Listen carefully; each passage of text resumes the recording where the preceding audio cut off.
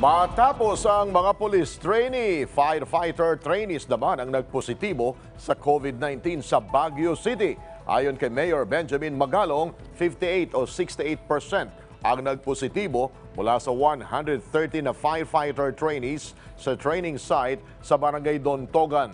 Aniya, ipinatigil niya noong Hunyo at 12 ang nasabing pagsasanay pero itinuloy pa rin ito ng Bureau of Fire Protection Regional Office. Nitong nakaraang linggo ay pinasuspindi ng alkalde ang police training matapos magpositibo ang mahigit isang daang trainees sa virus. Dahil na rin ito sa paglabag sa health and safety protocols.